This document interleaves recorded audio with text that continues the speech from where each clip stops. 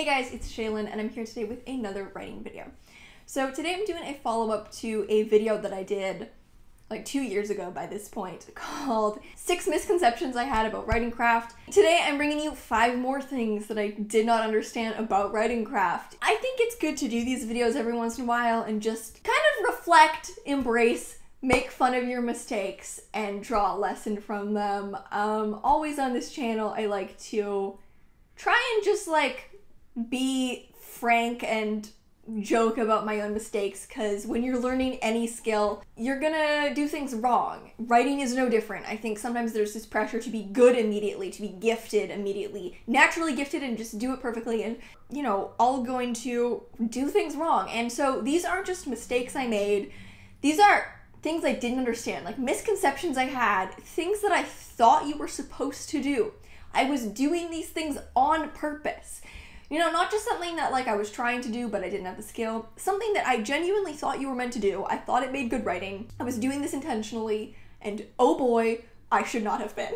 I started writing very young. A lot of these are things that I was doing as a teenager. You know what? It's fine. So let's just talk about it. If maybe my mistakes can be valuable for someone else to not make the same mistakes, maybe it will be worth the hundreds of thousands of very embarrassing words that are buried deep on my hard drive. Number one, every chapter should end on a cliffhanger.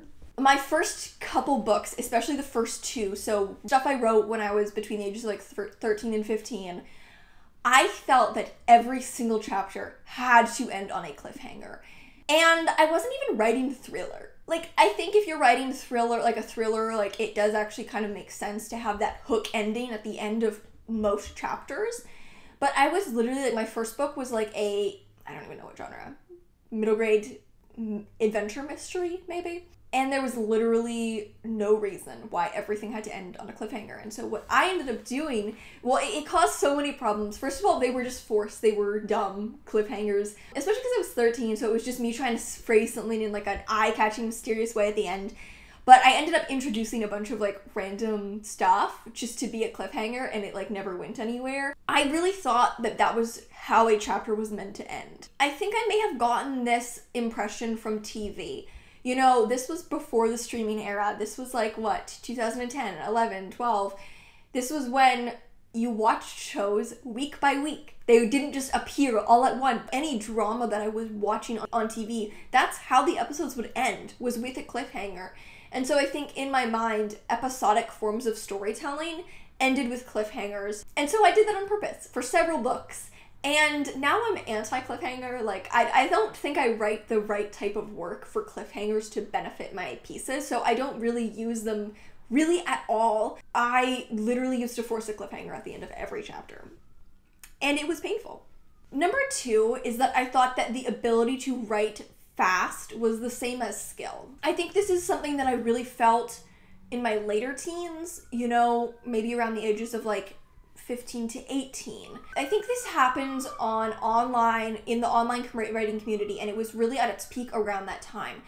Because everyone wants to feel like a good writer online, and they want to be validated as a good writer, and they want to be able to prove that they're a good writer. But if people aren't reading your work, you can't prove that you're a good writer. And so the only way people had to say, look, I'm a good writer, I know what I'm doing, is through the speed that they could write. And so I really felt that the faster I could write, that meant that I was skilled. And I think that this held me back in my development as a writer for a long time, actually, because I was so focused on writing fast, and in my mind, that meant I knew how to write. I wasn't actually thinking about the skill because I was only thinking about how fast can I write this book. And you know what? To be fair, I learned how to write a book pretty fast. I could write a book in one to three months, which is wild to me now because it takes me like a year. And that's for a first draft, to be clear. But obviously, none of them were good. But because I genuinely felt that being able to write fast was a marker of skill, because I was able to write fast and write faster and faster with each book, I felt that I was progressing. You know, it's like, okay, well, the last book took me five months, this one took me three. Therefore, I've improved. And I set really high, ridiculous goals for how much I was going to write in a year. And it just really stalled my development as a writer because I wasn't focusing on the craft at all because I felt that the speed that I wrote was an indicator of skill and craft, and it's really not. Those things aren't correlated at all. Some people write masterpieces and it takes them a very long time because that's their method. Some people can write really well really fast, and I'm not saying that some people can't write very well very fast, but the ability to write fast isn't an indicator of skill. That was a bad one. That one actually, I think, hurt my development for a long time. Number three, I felt that you needed to include like everything that happened to the character. I think that this is partly uh, an issue because I used to always write in first person present tense because I read pretty much exclusively YA as a teenager and almost all YA is written in first person present tense. That was just the most natural way for me to write. And one really actually common problem in first person present tense that it can cause is an struggle to edit your own work edit out what's not important. Because you're following the character in the present as they do everything, it can be easy to include literally everything they do, even when that stuff isn't necessary. I would dedicate a lot of time to stuff that literally was pointless because it technically happened to the character. You know, a lot of travel between places. I put a lot of time into trying to explain technicalities of stuff that didn't matter. And especially as a teenager, my understanding of how certain things worked wasn't very good. And so I was trying to explain things that I didn't really understand because I was trying to explain, you know, the technicalities of these things. Like I remember having a scene in uh, a, a novel that I wrote around the age of 18 where the main characters were at the hospital. And it was like a hospital in like a small town. And I was trying to explain like all the conversations and everything that they all the conversations they had with like the doctor there and everything and have never been in a hospital under that situation. So it was probably a very unnatural interaction and it, probably wasn't realistic to how that medical system works and also it didn't even need to be there. Like it really didn't need to be there. That whole scene like had the only reason that scene was there is i felt that it had to be there because it did happen to the character and it had to be explained. I included a lot of stuff that did not need to be there because i really felt everything had to be included. Um, and I've learned now, like, you can skip stuff. you can just skip it. If it's not important and it's just like a technicality, and you can just skip to the next point where it gets interesting. But I really didn't know that you could do that. I remember stressing a lot over writing stuff that I didn't really know how to write especially stuff that was eclipsed by my very young worldview and frame of understanding about the world. And it's like, I didn't even need to be writing that scene. Like, I was worrying about how I wasn't going to write it accurately when I didn't even need to be writing it because it was pointless. and going off of that, number four, I felt that dialogue needed to be built up to naturally. Let's say I needed my characters to talk about a certain thing in their dialogue. Instead of just starting the conversation at that point, you know, where it gets interesting, I felt that I needed to build up to that point in the conversation naturally. So there would be like four pages of the characters talking about other things until they eventually got to the topic that I wanted them to be on. It was so awkward. It wasted so much time. You know that that saying get in late, get out early? I was doing the opposite. I was getting in early, way early. For some reason, I felt that it would be unnatural if I just started a dialogue conversation where it needed to start.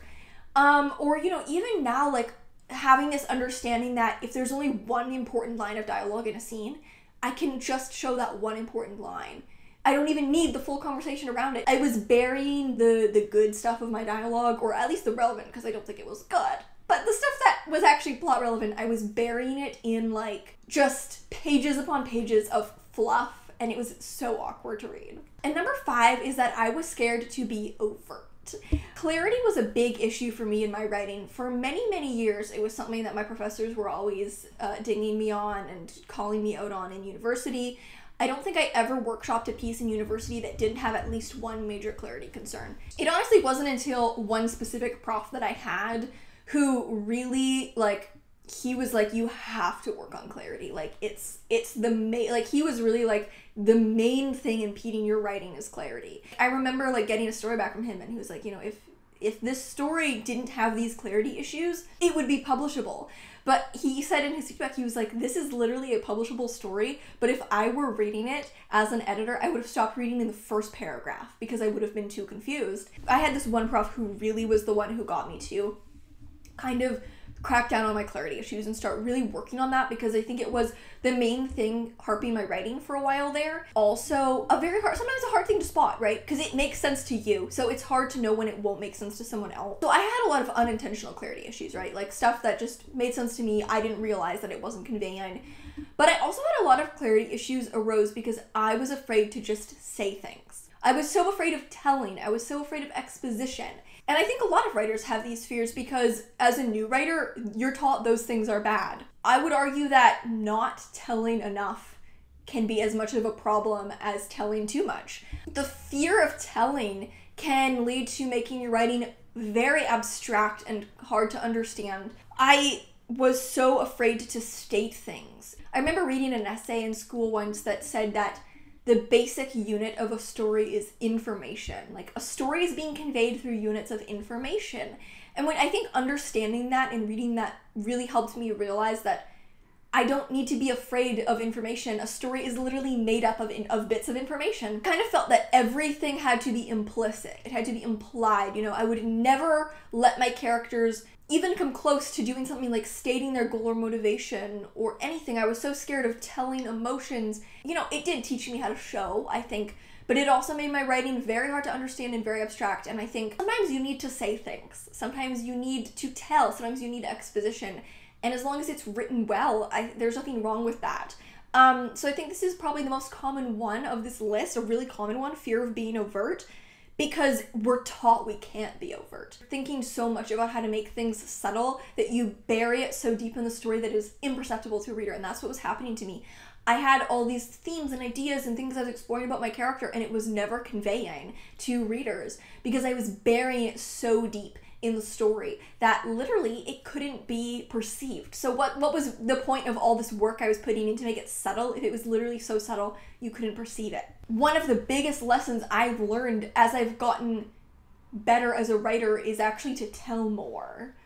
You know, learning to show really important, um, but learning to just state information for clarity's sake and also for interest sake like sometimes that stuff is interesting and it can be explored on the page in an interesting way. Not everything needs to be conveyed through a glance right? Like this isn't a silent film. Like you can have things information can be stated it can be shared it can be unpacked. Sometimes ideas need to be unpacked through words on the page not just through symbolism right? Um, but i was so scared of doing that because i thought it would make my work overt that it was just causing massive clarity issues and my stories weren't conveying anything to anyone because it was just so buried.